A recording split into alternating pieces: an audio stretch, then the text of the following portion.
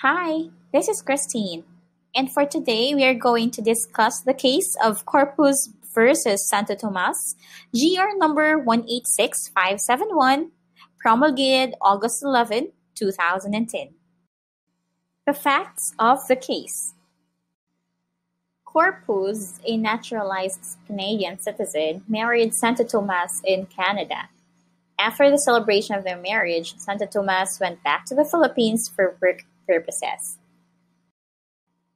Corpuz followed his wife in the Philippines. However, he was shocked when he discovered that Santo Tomas is having an affair with another man.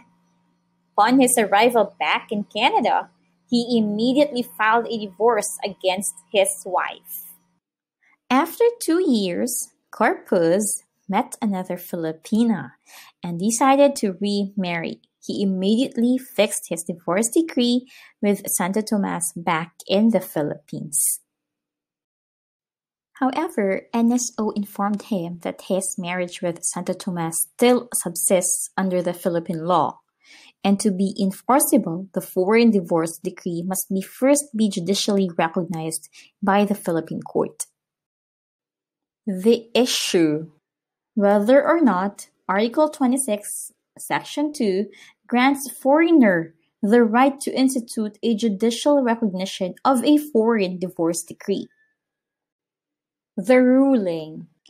The court held that alien spouses cannot claim the right as it is only in favor of Filipino spouses.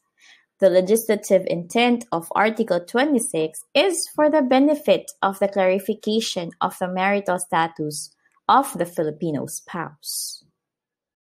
However, aliens are not stripped to petition to the RTC for his foreign divorce decree, as it is a conclusive presumption of evidence of the authenticity of foreign divorce decree with conformity to the alien's national law. Thus, the court granted the petition of Corpuz and reversed the decision of RTC which they found that Pasig has just acted out of line.